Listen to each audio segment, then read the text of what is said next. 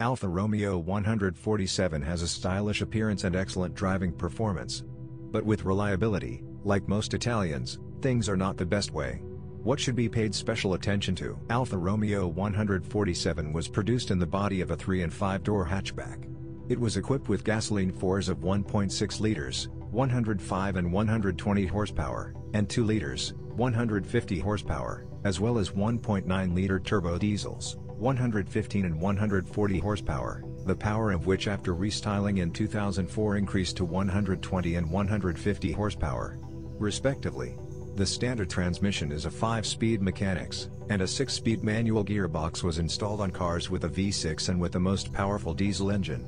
In our market, there are even more grey 147s than dealer ones. The car is quite spacious and has a rich standard equipment, 6 airbags, ABS, electric front windows and mirrors, air conditioning, audio system and fog lights.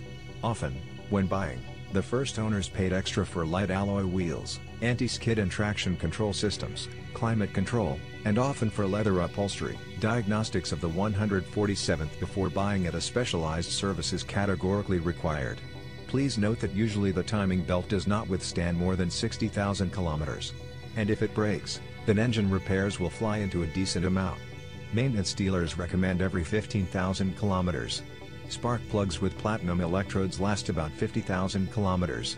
The resource of a water pump with a plastic impeller is 120,000 kilometers, and antifreeze should be changed at least twice as often. The most expensive running gear repair. The front suspension of the 147th is 4-link. The rear one is 6-link.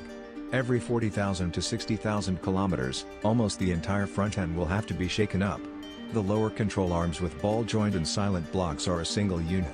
The stabilizer struts can withstand up to 50,000 kilometers, and the bushings break even earlier. In the rear suspension, all four levers must be replaced after 50,000 kilometers. Twin spark engines with two spark plugs per cylinder have a toothed belt in the timing drive, which should be changed after 60,000 kilometers and it is better not to neglect these recommendations. If the first owner of the car did not do this on time, then expensive repairs will be required later.